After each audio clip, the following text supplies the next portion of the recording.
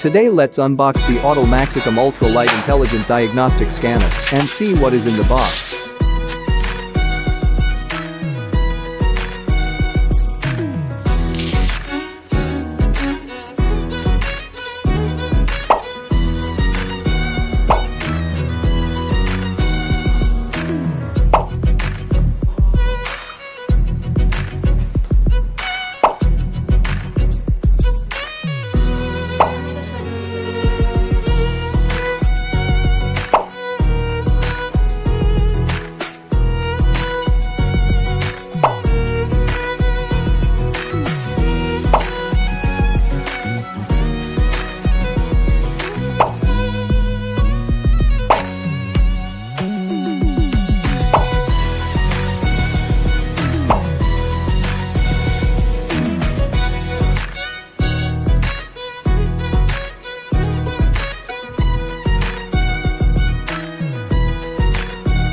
Next, we first turn on the tablet, long press the power button for threes to turn on.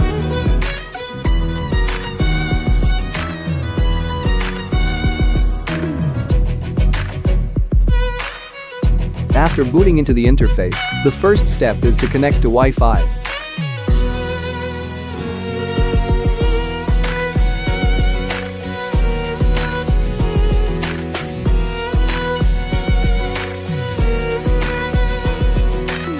Then we start to register, enter the email address and set the password.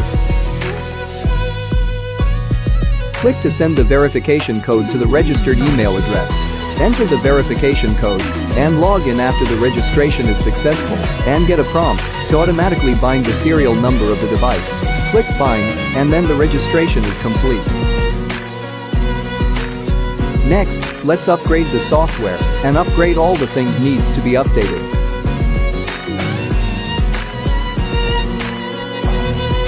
One end of main cable V2.0 is connected to MaxiFlash VCI, and the other end is connected to the ECU.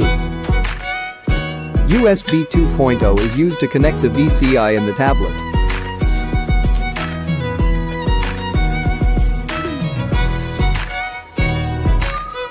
After the connection is completed, we click Diagnosis and select the model.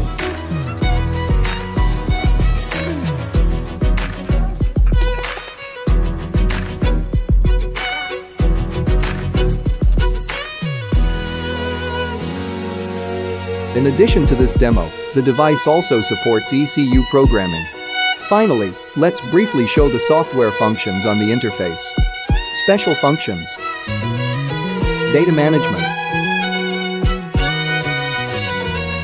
Battery test. Settings.